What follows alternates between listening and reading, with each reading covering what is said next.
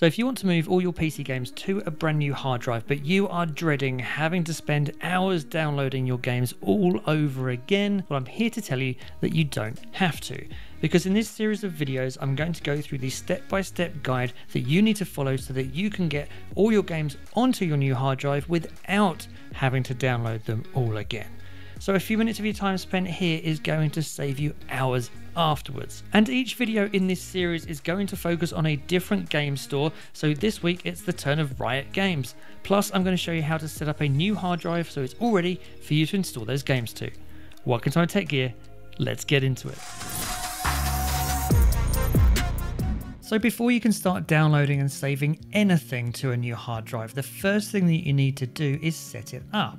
Now for ease of use, I would recommend an external hard drive for use as you only need to plug it into a USB port instead of opening up your PC case. However, whether you use an external or an internal drive, the steps for formatting and setting it up are the same. First things first, let's open up the disk management tool. Now in order to do that, press the Windows key to bring up the Windows home menu, type in disk, and then there is a create and format hard disk partition option. So just click on that. When you open up that disk management tool, you are going to see your default drive in this list. Now, for most people, it's going to be D or an E. For me, it's the one touch drive that I've just attached to my PC, so it's E for me. Now you just need to format your hard drive. So in the disk management tool, click on your hard drive, right click, and then select format. By default, you're pretty much going to leave it as NTFS. You can change if you want to, but for most people, NTFS.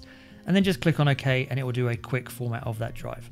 Um, I'm not going to do that because I've already done it, but that's how you set up a new drive because it's now all ready once that format's finished for you to install new games to.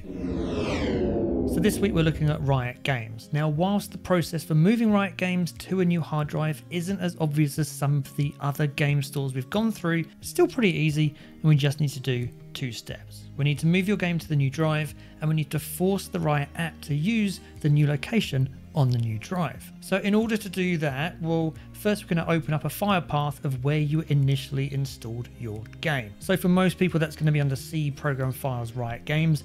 But for me, I've got my games on the Riot Games folder on my D drive. So under D, Games, there's a Riot Games folder and Valorant is in there.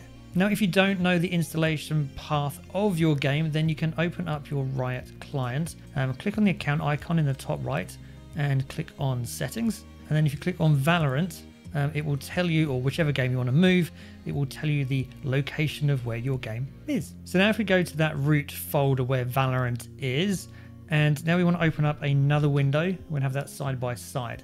Now this is going to be the location of the new drive. So I've got my E, my one touch drive, which is USB drive I've got plugged into my PC. I've got a games folder and I'm going to create a Riot games folder here.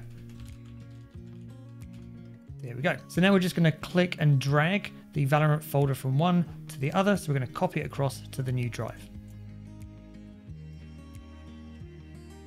Right, so that's Valorant now copied across. If you go into the Riot Games folder on your new drive, you can see Valorant's now copied across. So we can go into the original folder, click on that, hit on delete because we don't need it anymore. Now we need to go and get the Riot app to use that new location. So we're going to launch the Riot client. Okay, and now in Valorant, click on it and it says click on install. Now we're not actually going to install it, it's just it can't find it because it's still looking at the old folder. So if we click on this little folder icon, I'm going to point it to the new drives, the one touch drive, games, Riot Games, and then click on install.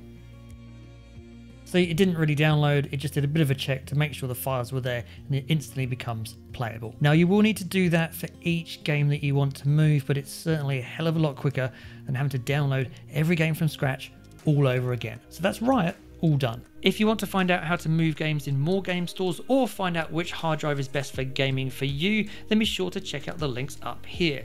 I will put some links actually to some hard drive options in the description down below for you. Thanks for watching. If you have enjoyed the video, please don't forget to like and share it. Consider subscribing if you're not. And as always, I'll see you in the next one.